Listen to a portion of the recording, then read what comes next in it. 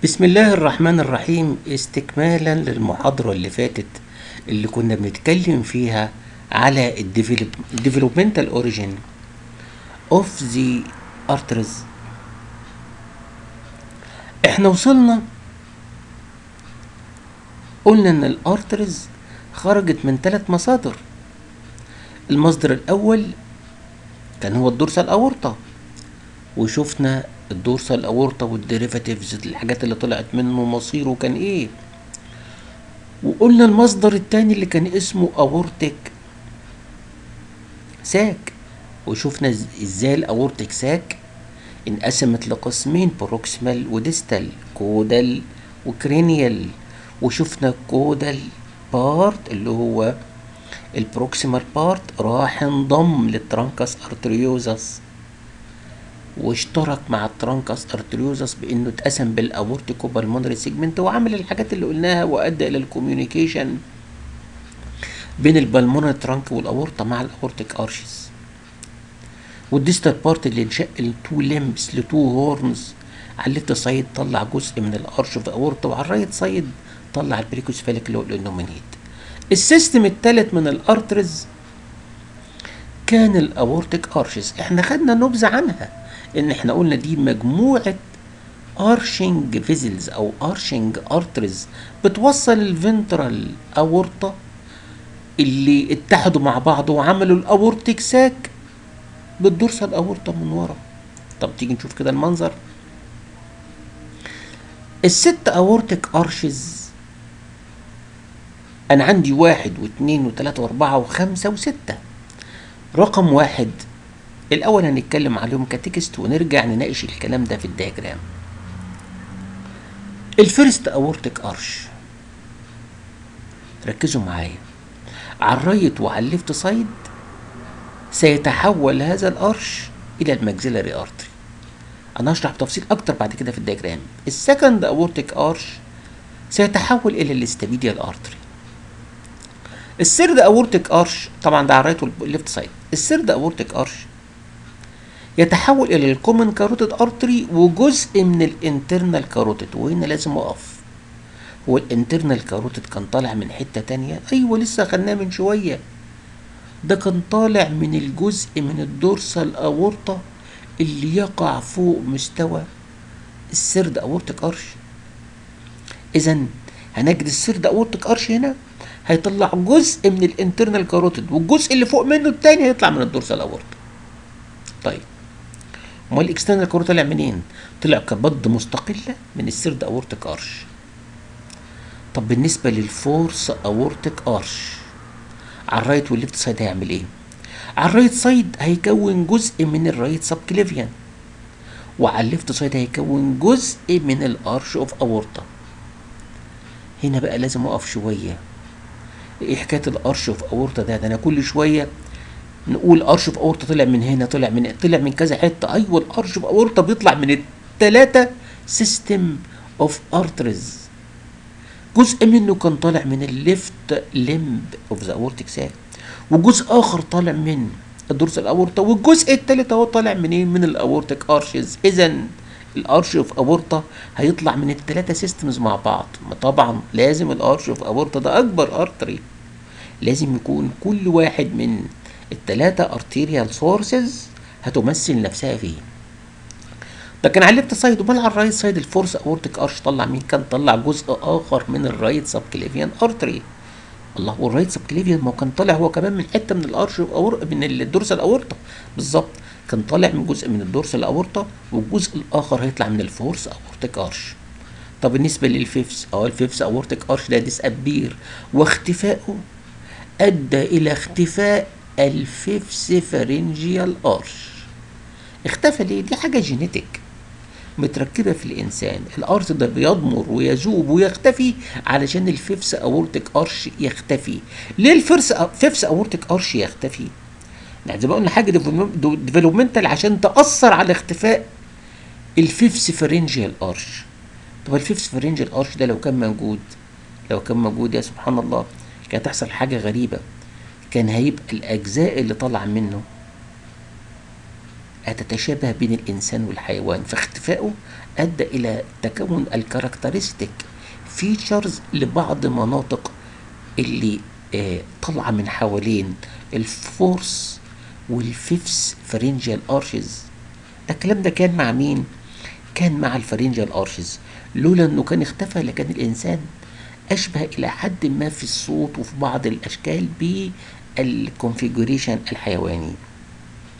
فده لطف من الله سبحانه وتعالى أن يختفي ال fifth aortic arch علشان يختفي معاه ال fifth pharyngeal arch وتختفي ال structures اللي طالعة منه اللي هي بتبقى واضحة في الحيوان ومفروض ما تكونش موجودة في الإنسان. طب بخصوص ال sixth aortic arch هينقسم ل two buds ventral و dorsal ال ventral على ال right side هتطلع ال pulmonary artery وال left side pulmonary artery اما ال dorsal على ال right side فتختفي وال- وال dorsal على ال left side تتحول إلى duct كبيره اسمها ductus arteriosus هتؤدي إلى ال communication بين ال left pulmonary artery and ال arch of aorta طب تعالوا نشوف الكلام ده بالرسم. أدي عندي هنا ال aortic sac بعد ما انشقت وانقسمت إلى two limbs إلى two horns left horn و right horn left limb و right limb طيب وأدي بقية ال aortic sac. إحنا قلنا ال left horn طلع جزء من ال arch of أو جزء منه أو هو طلع جزء من ال arch of aorta وكان ال right horn طلع ال innominate artery على ال right side. طيب. ال aortic arches زي ما إحنا قلنا إحنا عندنا 6 pairs يعني في مجموعة على ال right side وعلى ال left side. أدي أول aortic arch. اللي كان موصل ال aortic sac. بال dorsal aorta اللي ده بقاياه. ال first aortic arch يختفي ويذوب تاركا اثرا ممثلا في ال maxillary artery. أدي ال first aortic arch أهو. الناحيتين. طب ال second aortic arch يختفي ويذوب ويتبقى تتبقى آثاره في صوره artery صغير بيسموه stapedial artery واحد من ال arteries بتاعت ال middle ear. ال artery أو ال four ال third aortic arch على ال left وعلى ال right side يختفي ويذوب وبقاياه تتمثل في ال common carotid artery وجزء من ال internal carotid زي ما قلنا قبل كده. ولا يجب أن ننسى أن ال external carotid خرج ب bud مستقلة منين؟ من ال third arch طب نيجي لل fourth aortic arch ال fourth aortic arch على ال left side هيكون جزء من ال arch of aorta وعلى ال right side شوفوا هيعمل إيه؟ هيكون جزء من ال subclavian artery. طيب بالشكل ده كان ال arch of aorta بيتكون من ثلاث مصادر. أدي المصدر الأول aortic sac. وأدي المصدر الثاني هو ال fourth aortic arch. والمصدر الثالث من هنا الجزء ده اللي كان ال dorsal aorta ال subclavian بالمثل هيتكون من مصدرين اتنين من ال right fourth aortic arch وجزء من ال dorsal aorta طب تعال نشوف ال fifth. بصوا كده ال fifth شكله إيه؟ حاجة غريبة. أدي ال fifth aortic arch اللي هيختفي. It degenerates and disappears. وب... وباختفاء ال fifth aortic arch زي ما قلنا هيختفي ال fifth pharyngeal arch طب تعال نشوف السكس بقى. ادي ال sixth aortic arch على ال left side وعلى ال right side ده على ال left side وعلى ال right side هنا على ال left side انقسم إلى two buds bud يعني diverticulum يعني projection يعني process بروز واحدة dorsal وواحده ventral وعلى الناحية الثانية هينقسم أيضا ال right sixth aortic arch إلى two buds واحدة ventral وواحده dorsal. طيب ناخد ال right side الأول. ال dorsal bud of the sixth aortic arch on the right side disappears تختفي تدوب وتروح. أما ال ventral bud تتحول إلى ال right pulmonary artery طبعا ال left side ال left side ال dorsal bud تختفي بس مش هد مش ه- مش هتدوب. تبقى obliterated وتتحول إلى ligament ال ligament دي بيسموها. الأول كانت اتحولت ل duct اسمها ductus arteriosus ومستقبلا ستصبح ligament هي ال ligamentum arteriosum أما ال ventral bud تتحول إلى ال left pulmonary artery يبقى ال two ventral buds من ال sixth arch تحولوا إلى two branches of the pulmonary trunk أما ال dorsal bud ال dorsal bud اختفت على ال right side وعلى ال left side تحولت ل duct سرعان بتختفي تختفي بعد الولادة ويحل محلها رباط. ال duct دي كان اسمها ductus arteriosus والرباط اللي مكانها اسمه ligamentum arteriosum وبعد كده ده كان أدي هي بالظبط. وبعد كده أدي كان ده ال dorsal aorta اللي عملوا بعد كده الايه اتحدوا مع بعض وعملوا one artery ادي كان مصير. الستة aortic arches وشفنا ال branches اللي خرجت منهم وشكلت ال arteries الشهيرة في الجسم الإنسان. بالشكل ده هنكون خلصنا التلاتة arterial systems وشفنا مجموعة ال arteries اللي شكلت derivatives اللي خرجت من هذه ال systems وكونت ال arteries arteries الشهيرة في الجسم. ندخل بقى دلوقتي على بعد ما خلصنا ال arteries عايزين نتكلم على ال congenital anomalies اللي بتحصل أثناء ال development لهذه ال arteries اللي بيسموها arterial system defects إحنا نقسمها لخمس مجموعات. إما مشكلة في ال arch of aorta يضيق شوية يؤدي إلى ظاهرة معروفة باسم ال coarctation of aorta أو إن ال ductus arteriosus ما تقفلش. تفضل مفتوحة بيسموها patent ductus arteriosus الثالثه يكون anomalies في العدد بتاعت ال arch of aorta إحنا normally عارفين إن ال arch of aorta واحد وموجود على ال left side أو متجه للل left side انما ممكن نلاقي خلل في العدد. هنجد إن الاورطه ممكن يكون طالع من على ال right side أو يكون عندي اتنين اورطه بيسموها double aorta طيب anomalies في ال origin of right subclavian وأخيرا يكون anomalies في ال course of aorta يكون المسار بتاعه بدل ما هو ماشي straight مش straight بدل ال contour بتاعه سموث يكون ال contour بتاعه interrupted بيسموه interrupted arch of aorta تعالوا ناخد هذه ال anomalies واحد واحد نشوف ال features بتاعته ونشوف المشاكل اللي ممكن يعملها ونتكلم يعني باختصار عن حلها. أول مشكلة اللي هي ال coarctation of aorta تعالوا نحلل الاسم coarctation co co دي جاي من conjoined يعني متلاصق. arctation جاي من arc arc يعني arch arch يعني قوس. يعني الأورطة مكون من قوسين متلاصقين. يعني إيه قوسين متلاصقين؟ متلاصقين. بدل ما هو قوس واحد يبقى قوسين اتنين ولازقين في بعض بحته ضيقة. إزاي؟ تعالوا نشوف المنظر كده وهو يجاوب لنا. لو جينا هنا نشوف الشكل ده آدي ال arch of aorta آدي جزء من قوس وآدي تكملته القوس الثاني الله يبقى الأورطة هنا بدل ما هو كان قوس واحد متصل بقوا قوسين اتنين بيربطهم قناة. الله القناة دي جت منين؟ القناة دي عبارة عن إيه؟ دي عبارة عن abnormal narrowing of a part of arch of aorta. يقع هذا ال part just below هذا ال vessel مين ال vessel ده؟ ده ال left subclavian. ال arch of aorta زي ما إحنا عارفين بيطلع ال left subclavian وبيطلع ال left common carotid وبيطلع ال innominate اللي هو ال brachiocephalic اللي بيتفرع إلى right common carotid و right subclavian تحت مستوى ال left subclavian هنجد ال arch of aorta يتخنق يختنق. لما يختنق يحصل له narrowing يبقى الحالة ال coarctation of arch aorta دي معناها إيه؟ معناها abnormal narrowing. Of the wall of arch of aorta هذا ال narrowing بيحدث في مكان. مكانه below the level of subclavian uh, of origin of uh, left subclavian artery. بنلاقي هذا ال narrowing اللي ينتج عنه قوسين متلاصقين أو متلازمين من ال arch of aorta هذا ال narrowing في نوعين اتنين. النوع الأولاني بيكون قبل هذه ال duct مين دي ال duct ديت؟ ال duct دي خارجة من الشريان ده. مين الشريان ده؟ ده ده ال pulmonary trunk اللي بيتفرع إلى left pulmonary artery و right pulmonary artery ال left pulmonary artery مربوط مع ال arch aorta connected معاه ب duct اسمها ductus arteriosus أيوه ما إحنا عارفين الكلام ده. ال ductus arteriosus دي اللي كانت ال dorsal part of the 6 aortic arch وكانت شغالة في ال embryo لها دور مهم في ال fetal circulation زي ما هناخد في المحاضرة اللي جاية.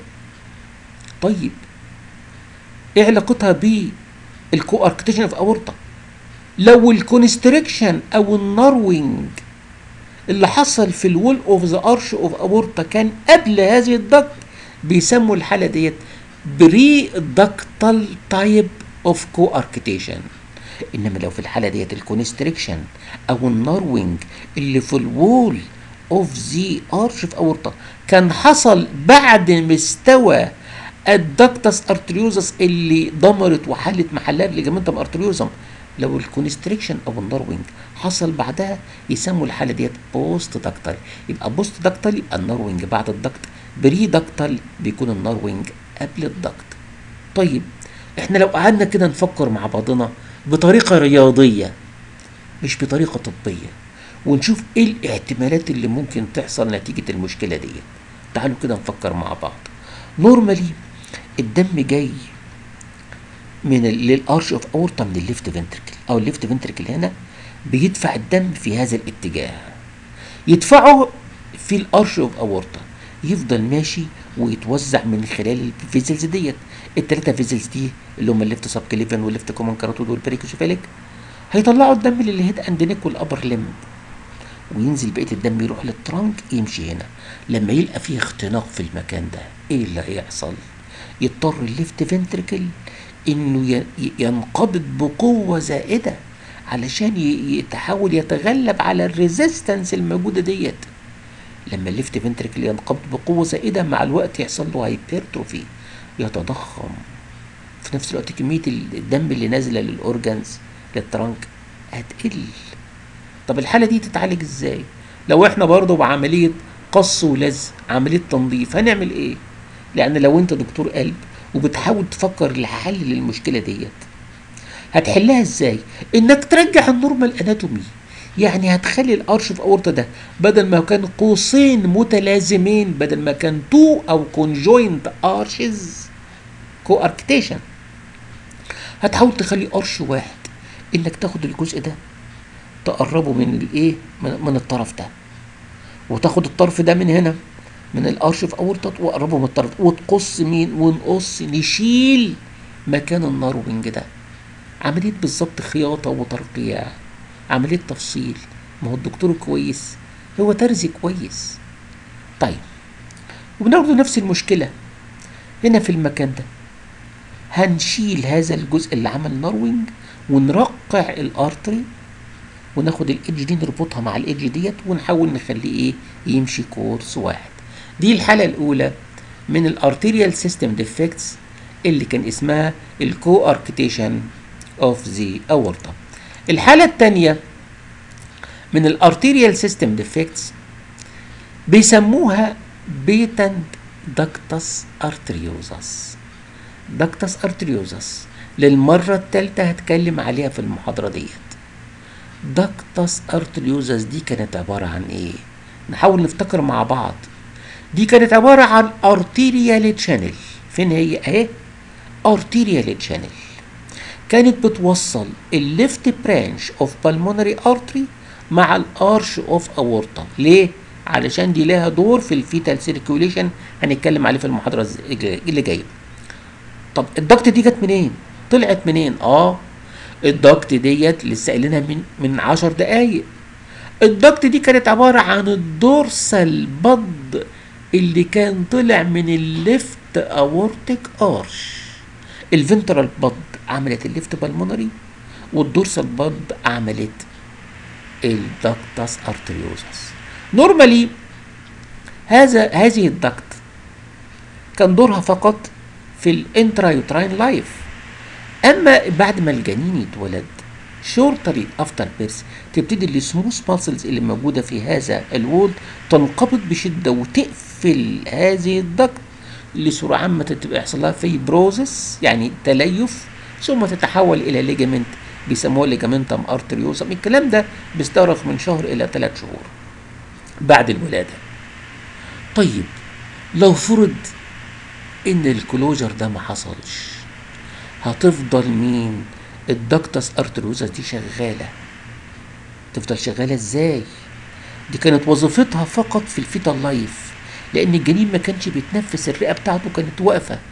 فالدم اللي كان جاي من ال pulmonary لازم يعدي على إيه الأورطة ويروح من يعني من الأورطة يمشي مع ال umbilical artery يوصل لل placenta زي ما ناخد عشان يتعبى بالأكسجين. طيب هنا إيه اللي هيخليه يروح يجيب أكسجين من ال placenta وأنا عندي الرئتين شغالين بعد الولادة. فعلشان كده بعد الولادة بتتقفل هذه ال duct والدم يندفع من ال two pulmonary arteries ويروح يجيبوا الأكسجين من الرئتين. طيب لو فضلت دي مفتوحة إيه اللي هيحصل؟ لو فضلت مفتوحة الدم ال deoxygenated اللي جاي من ال pulmonary trunk بدل ما هيروح لل pulmonary arteries لا ده هيروح عن طريق هذه ال duct للأورطة ويمشي ويروح لل trunk وجسم الجنين وهو deoxygenated فالجنين يعاني من قلة الأكسجين ويبتدي يحصل له الحالة الشهيرة ال cyanosis ال cyanosis اللي هو الزرقان بقى يبتدي جلده يزرق نتيجة الإيه؟ نقص الأكسجين. طب حل الحالة دي إيه؟ لو أنت جراح تحاول تت... ما هو الجراح أو الطبيب. دوره إيه يا جماعة؟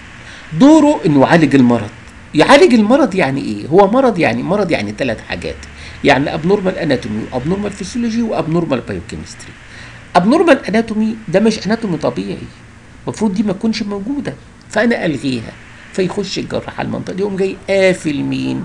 قافل ال ductus arteriosus يخيطها يربطها ولما يربطها يحصل لها obliteration وتحصل لها fibrosis تنسد وتتحول إلى ligament وترجع كل شيء إيه لطبيعته ويمشي الدم من ال pulmonary trunk لل pulmonary arteries والأمور تفضل إيه تمام وتعبى بالأكسجين عن طريق ال lungs والأمور ترجع لطبيعتها.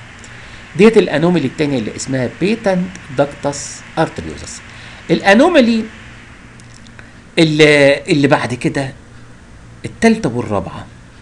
التالتة والرابعة دي anomalies في ال position بتاع ال aortic arch. ال aortic arch من المعلوم إنه موجود على ال left side لكن ممكن نلاقيه على ال right side. يا نهار أبيض! aorta arch of aorta موجود على ال right side؟ طب ليه؟ ده ال arch of aorta من المعروف إن ال arch of aorta أساسا على ال left side وكان طالع من ثلاث مصادر زي ما إحنا عارفين. ده ملك ال arteries فما يصحش إنه ياخد من مصدر واحد. هياخد من الثلاث مصادر الشهيرة. هياخد جزء من ال aortic sac عن طريق ال left limb أو ال left horn بتاعها. وياخد جزء من ال dorsal aorta. وياخد جزء آخر من ال aortic arches. من ال fourth aortic arch. بس على ال left side. طيب دلوقتي عندنا هنا لما نتذكر مع بعضنا. فاكرين ال dorsal aorta اللي كان على ال right side. في المنطقة اللي تحت مستوى ال aortic arch ال dorsal aorta في المنطقة دي كان بيحصل له إيه؟ disappear بيختفي. طيب لو ال dorsal aorta في هذه المنطقة ارجعوا تاني للمحاضرة بتاعتها المحاضرة اللي فاتت. لو ال dorsal aorta في هذا هذه المنطقة ما اختفاش. فضل باقي زي ما هو. وفي نفس الوقت الجزء المناظر ليه من ال dorsal aorta على ال left side هو اللي اختفى. في الحالة ديت ال arch of aorta بدل ما يظهر على ال left side هنجده إنه يظهر على ال right side. بيسموها إيه؟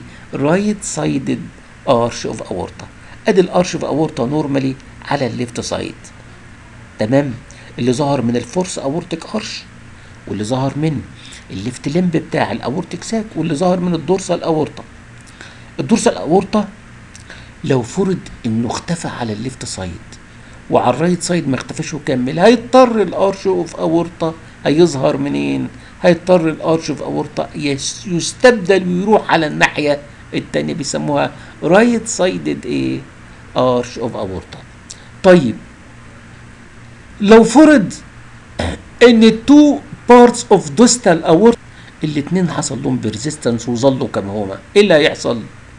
اللي هيحصل إن ال left أو ال dorsal aorta على ال left side هيكون arch of aorta لوحده وعلى ال right side هيكون arch of aorta تاني. اذا بقاء ال distal parts of both right and left dorsal aortae يؤدي إلى ال formation of two إيه of two aortic arches أو of two arches of aorta واحد فيهم بيكون ورا ال trachea وال esophagus ال esophagus والتاني بيكون قدام ال trachea وال esophagus يعني ماشي؟ بس الكبير هو اللي بيكون ورا والصغير هو اللي بيكون في الأمام. في الحالة دهيت هنجد أنا عندي إيه؟ أنا عندي left common left subclavian و left common carotid و right subclavian و right common carotid وكل واحد طالع منين؟ طالع من إيه من aortic arch الحالة دهيت لابد إن إيه؟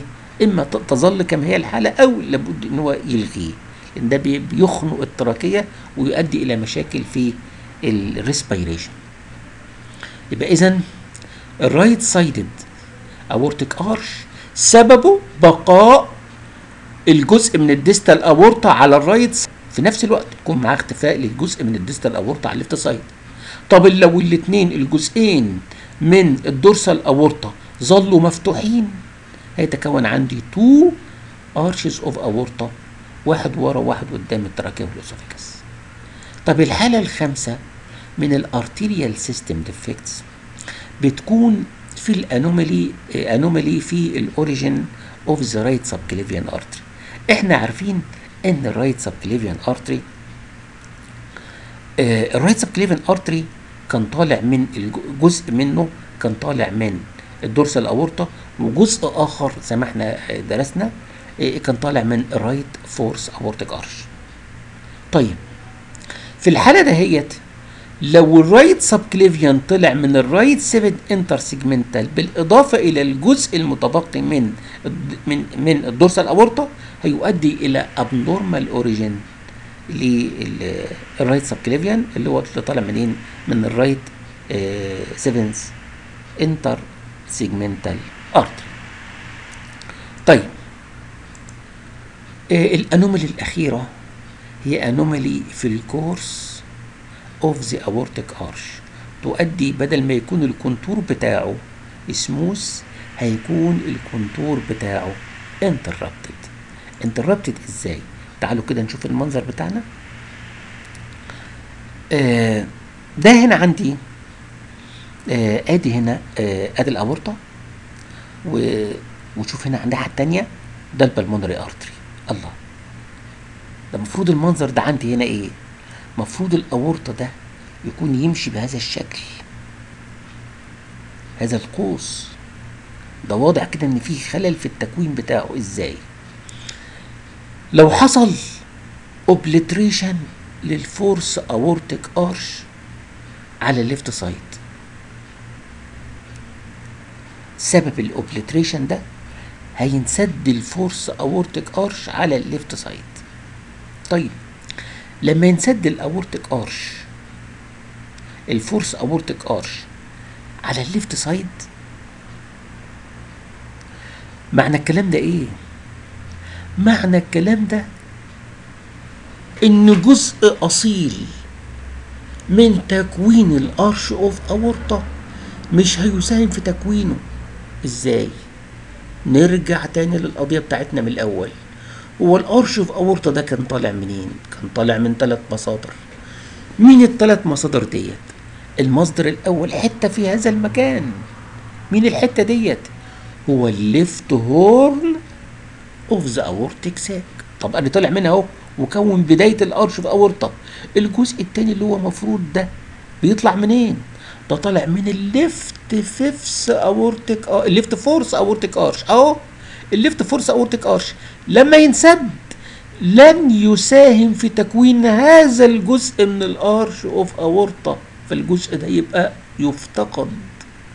الجزء الثالث اللي طالع من ال dorsal aorta اذا انسداد ال fourth aortic arch على ال left side يؤدي إلى ال incomplete formation of the arch of aorta في الجزء اللي طالع من ال aortic sac هيتكون والجزء الثاني هيتكون لوحده.